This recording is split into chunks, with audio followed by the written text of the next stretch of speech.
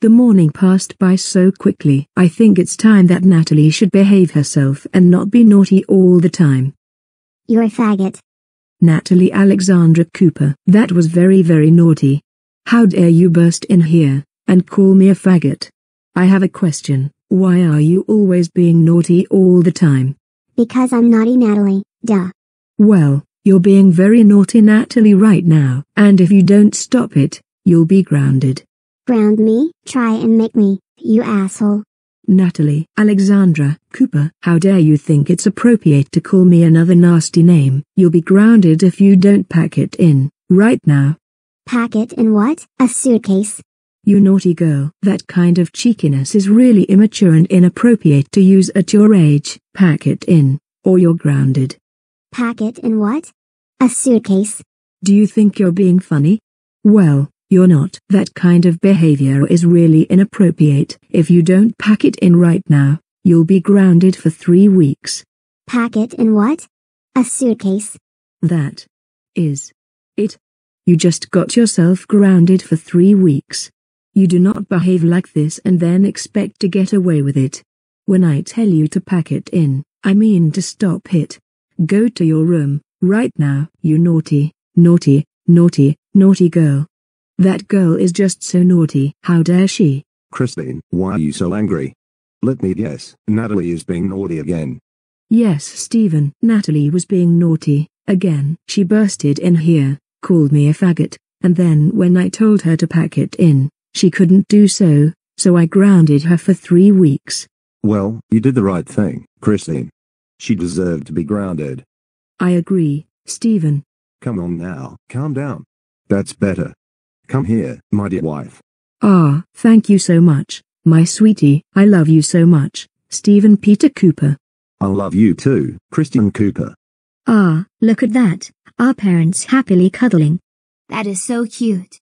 Mom, Dad, Jess and William, there's something I need to tell you for. Save it Natalie, we don't want to hear it. Yeah. Now get back to your room. Mum, Dad, let her speak. She really wants to say something. Sorry Natalie, carry on. Well, I'm sorry for being naughty over the past few weeks. It was because, well, I was bored, so I decided to be naughty Natalie for a change. Do you both forgive me? Well, I can tell that you're really sorry. So, yes, we forgive you, Natalie. Mommy, I'm sorry for calling you nasty names. Do you forgive me? Yes Natalie, I forgive you, sweetie. Jess, I'm sorry for tearing up your math homework. Will you forgive me if I help you with it? Ah, Natalie, that's so sweet. Of course, Babby, and thank you for saying sorry. That is so sweet of you. You're welcome, Jess and William. I'm sorry for all the bad things I did to you. Can you forgive me? Yes, I forgive you, Natalie. Thank you so much, William. That is, wait, why has my voice changed? Well, Natalie, you've apologized to all of us and you decided not to be naughty, so that's why your voice has changed. Ah, that makes sense. Well, I think a new look is in order. Okay, so, what do you all think? Wow, Natalie, you look so adorable. Yeah, Natalie, you are so cute. Natalie, you look so cute in your new outfit. It really suits you, Natalie.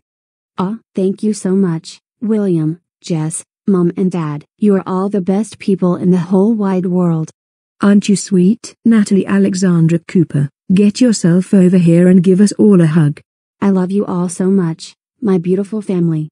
We love you all too, naughty Natalie, I mean, nice Natalie. Yeah, that's my new name now. Hey mom, can I go out for a walk? Of course, sweetie. Be careful though. I love you so much, my precious Natalie. I love you too, mom. Ah, it's so beautiful outside today. Hi, Mr. Morrison. Oh, hi Natalie. Wow, you look all grown up.